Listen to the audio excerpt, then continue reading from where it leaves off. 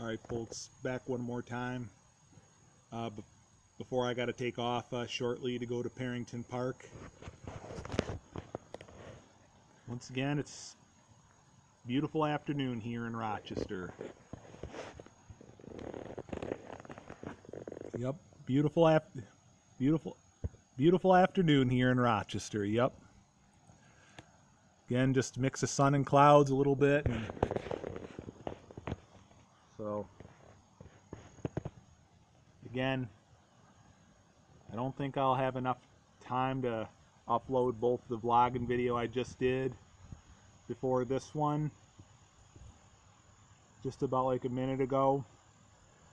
For this one, before le- before leaving, I shall try and get both um, uh, uploaded. Hopefully, some point after getting home tonight from Parrington Park. If I don't get it again, as I said in the last vlog and last video I just did before this one, if I if I don't get around to it tonight, you shall definitely have both of them by tomorrow. But I'll I'll try and I'll try and upload them some point tonight after getting back. Again, the breeze is picking up pretty good here.